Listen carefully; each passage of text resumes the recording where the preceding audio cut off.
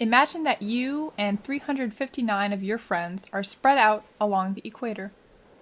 Each of you is 69 miles apart. Together you make a dotted line around the world. All 360 of you begin walking directly north toward the North Pole. For most of your journey, you can't see your friends. If everyone walks straight toward the North Pole, you will slowly get closer together. By the time you reach the pole, all 360 of you will be trying to stand in the same place. Now imagine you can see the footprints you left behind you. Your steps make up lines called meridians. Meridians measure the longitude to the east or west of a specific meridian. You'll learn more about meridians shortly. Like parallels, meridians are imaginary lines that map makers put on maps. They run from the North Pole to the South Pole. They are not parallel, however. They get closer to each other as they near each pole.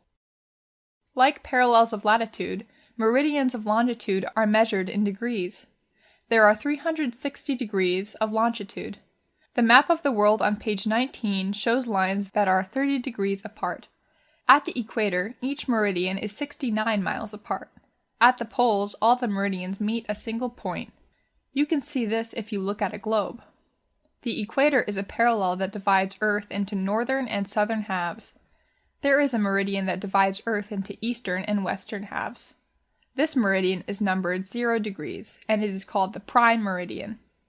It runs through Greenwich, England. This is a small part of London.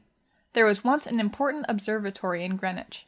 An observatory is a place where scientists study the stars. In the 1800s, it was decided that this place would mark 0 degrees longitude. Meridians east of the prime meridian are numbered 1 degrees east, 2 degrees east, and so on. They go all the way to 179 degrees east. Meridians to the west of the prime meridian are numbered from 1 degree west to 179 degrees west. The prime meridian does not circle the entire world. In fact, it is only half of an imaginary circle around the world.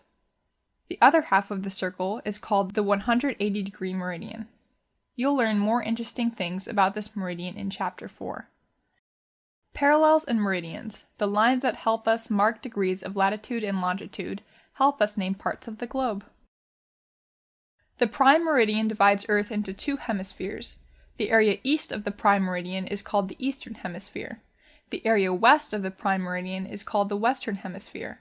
How does longitude help the captain know where he is and where he is going?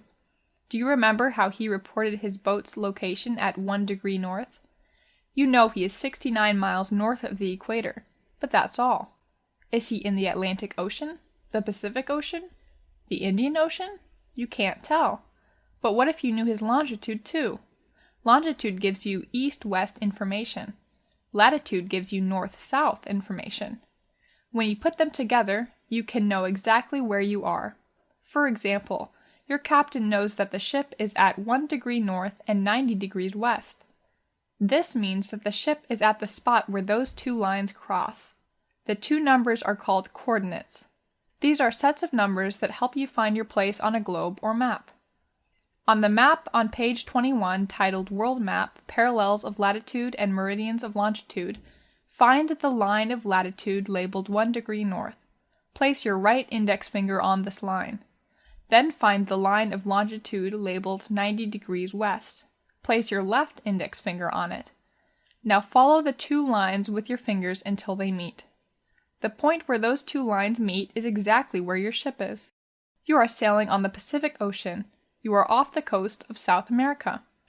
Now you know you're in the Pacific Ocean, but do you know where you're headed? At that moment, the captain passes by. You ask him, Where are we going? He nods and says, We're headed for a city located just to the south of 40 degrees north and 120 degrees west. We'll be there in a few days. Look at the map, find the coordinates, trace the lines with your fingers. You can find the spot where your ship is headed.